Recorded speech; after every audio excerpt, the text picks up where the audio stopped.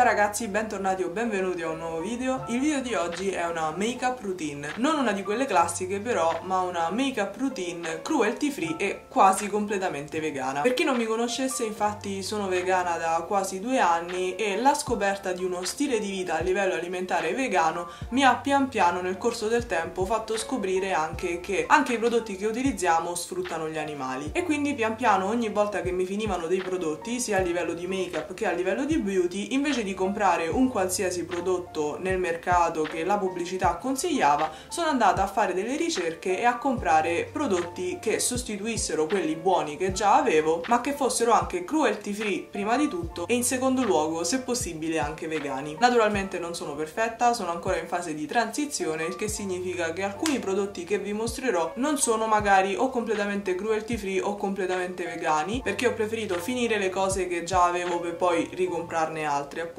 ma comunque vi consiglierò e vi lascerò qua sotto in descrizione i prodotti che vorrò comprare in futuro e sostituire a quelli che già ho. Quindi detto questo cominciamo subito con il make up allora per prima cosa mi lego i capelli Comincio subito dal correttore e vado a usare quello della NARS in crema. Negli ultimi tempi sto cercando di liberare la mia vita da ciò che non mi serve, diciamo, e io soprattutto verso i 16-17 anni ero ossessionata, possiamo dire, dal make-up. Il precedente canale che avevo infatti è cominciato proprio come un canale di make-up crediateci o no. E preferivo la quantità alla qualità. E quindi avevo tanti prodotti che magari usavo pochissime volte o che non mi piacevano invece di averne pochi un po' più costosi ma buoni. Invece adesso che sono cresciuta sono tutt'altra persona. Preferisco infatti la qualità alla quantità e quindi preferisco avere pochi prodotti che costano un po' di più ma buoni che mi piacciono mi rendono felice e mi fanno stare bene. Proprio come questo correttore della NARS anche il correttore precedente che avevo era vegano e cruelty free ed era quello della Urban Decay che mi è durato più di un anno e spero che questo faccia altrettanto. Al momento mi sta piacendo tantissimo perché non copre solo ed esclusivamente le occhiaie ma anche i brufoletti che qualche volta spuntano nel viso di tutte noi. E quello che faccio è praticamente andarla ad applicare con un pennello che sempre ho comprato da poco perché non avevo un pennello per il correttore che è quello della Real Techniques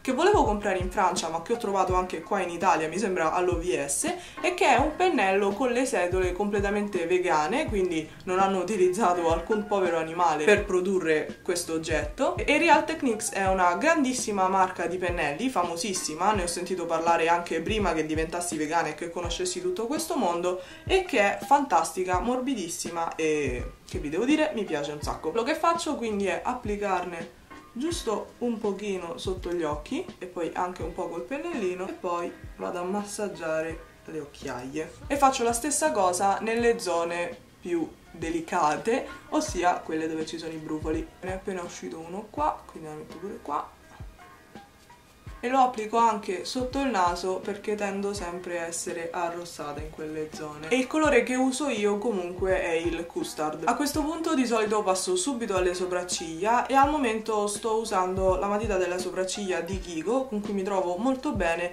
che mi ha comprato mia madre ma che sicuramente non penso sia vegan. Forse cruelty free sì perché mi sono informata sul sito della Kiko e per quanto mi ricordi non testa sugli animali però non vi posso dare la certezza certezza che questa sia anche vegana. Usavo in precedenza, ma poi mi è finita, non l'ho trovata ed è per questo che poi ho comprato questa perché mi serviva, quella della Benecos, la matita per sopracciglia della Benecos. La Benecos è una marca fantastica, ne vedrete tanti di prodotti della Benecos in questo video e mi trovavo benissimo anche con quella. Era molto simile, riprendendo il discorso di questa matita, quella che uso è la 02. Quindi per il momento andrò a usare questa e poi vi farò un update nel momento in cui riaggiornerò meglio i miei prodotti make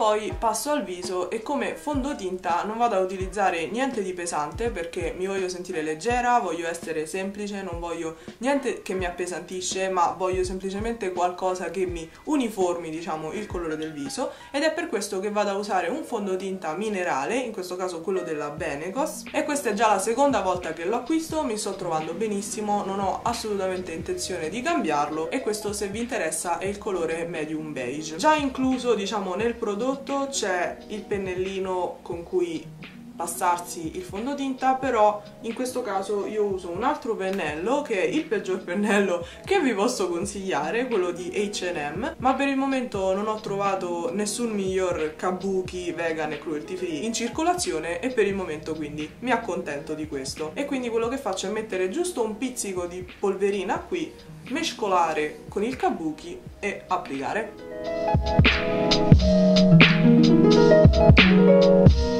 thank you Adesso che sono in vacanza mi piace anche mettere un po' di terra e un po' di blush e vado sempre a usare quelli della Benecos e per applicarli, lo so è sbagliato, vado a usare lo stesso pennello e questo sempre è della Benecos e il materiale sinceramente mi piace tantissimo. Mi piace molto anche l'estetica, è fatto di legno veramente molto pulito, elegante e non costa neanche tanto, intorno ai 5 euro. Ho convertito tutte le mie amiche a comprare questo pennello e quindi niente, quello che faccio è quello che fanno tutte, ossia prendere un po' di terra, che come potete vedere è quasi finita, quindi ha fatto il suo lavoro, e la vado ad applicare un po' sotto le guance, giusto per dare un po' di profondità al viso. E a volte la metto anche un po' qua e tipo sotto il collo, solamente perché tutti lo fanno. E faccio la stessa identica cosa con il blush.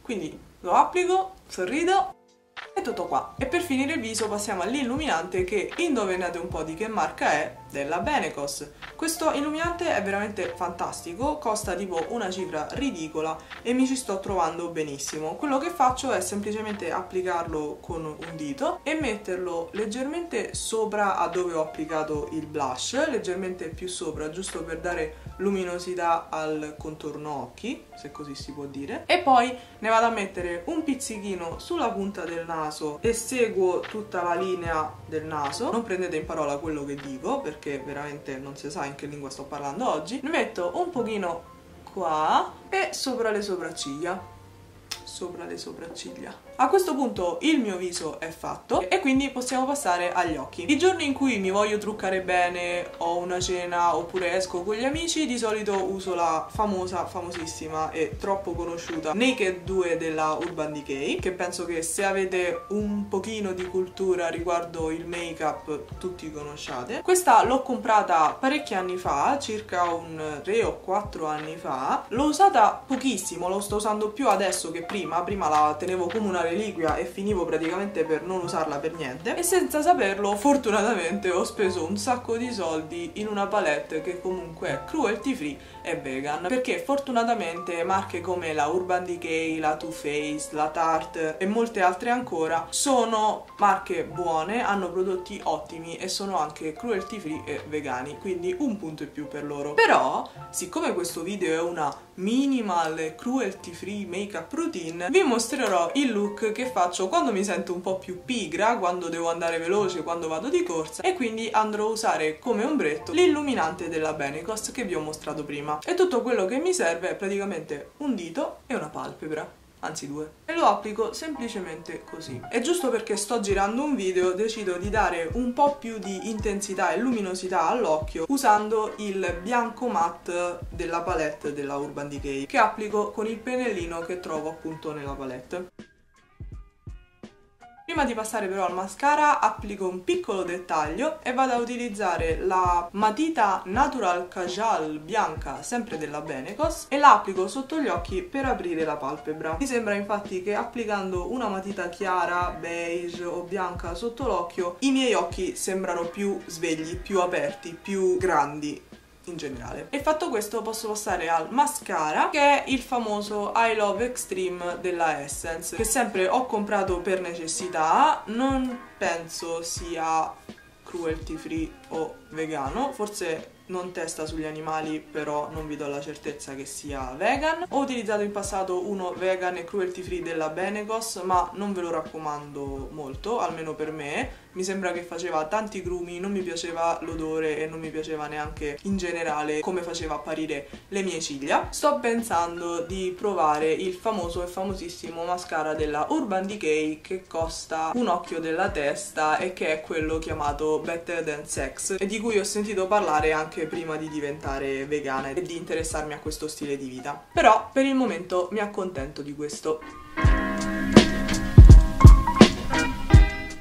Infine passiamo alla parte che io personalmente preferisco, ossia i rossetti o lipstick. Nel momento in cui ho deciso di non voler più comprare prodotti testati sugli animali o che avessero prodotti animali all'interno, la cosa più difficile è stato appunto liberarsi oppure comprare dei nuovi rossetti che sostituissero quelli vecchi e che dessero lo stesso risultato. E vi dico che non solo hanno superato il test, ma sono anche meglio di quelli che compravo prima. In particolare, probabilmente già lo saprete se mi seguite su Instagram e sulle mie storie, uno degli ultimi giorni che sono stata in Francia sono andata da Sephora e finalmente, dopo anni e anni che lo volevo, ho investito in un buon lipstick, ossia quello della Kat Von D, il famoso, se lo conoscete, Lolita. Questo però non è lo specifico Lolita, ma il Double Dare che preferisco, che penso stia meglio con il mio colore di pelle, diciamo. E ragazze, che ve lo dico a fare,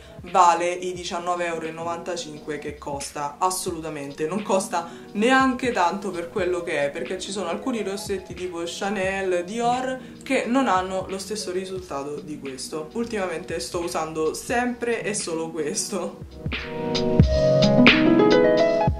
All'inizio è un po' luminoso, shiny, fa proprio l'effetto del lipstick, ma pian piano si mattifica e dà l'effetto mattificante appunto opaco del rossetto che secondo me è bellissimo. E intanto che aspettiamo che il rossetto si asciughi, io vi mostro altri due rossetti, sempre vegan e cruelty free, della Nabla Cosmetics, che ho da più di due anni e che ancora non mi hanno stufato, il che per me è un miracolo. E sono il Closer, che è l'ultimo che ho comprato ed è esattamente il colore delle mie labbra. Di solito questo me lo metto quando sono completamente struccata e voglio semplicemente far vedere che non sono completamente struccata mettendomi un rossetto che semplicemente rende omogeneo il colore delle mie labbra. E poi un altro colore un po' più forte ma sempre tendente al nude che è il Pantarei che praticamente con questo caldo si è sciolto e che è quasi finito perché ho da tantissimo tempo. L'ho comprato pochi giorni dopo la maturità mi sembra quindi ha tipo due anni e che ho usato tantissimo in questi anni sia in inverno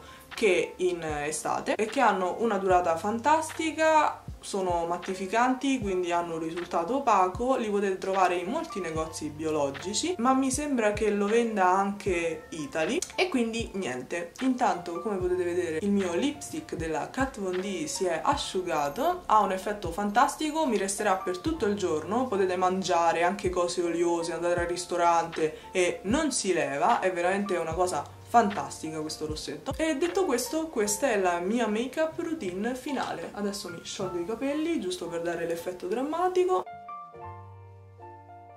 e questo è quanto. Io spero tanto che questo video vi sia piaciuto, non sono sponsorizzata da nessuna delle marche che ho citato, ma se vedete questo video contattatemi. Spero di avervi dato qualche ispirazione, mettete un bel pollice in su se vi è piaciuto questo video, commentate qua sotto se avete qualsiasi richiesta video, io sono sempre felicissima di leggere i vostri commenti, commentate anche se conoscete qualche brand, qualche marca o qualche prodotto che sapete appunto sia cruelty free e vegano e che volete condividere con me e con con tutti coloro che leggeranno i commenti qui sotto il video. Come al solito vi dico di seguirmi su Instagram se ancora non l'avete fatto, dove posto tutti i giorni. Io vi mando un grande bacio e noi ci vediamo molto presto con un nuovo video. Ciao ciao!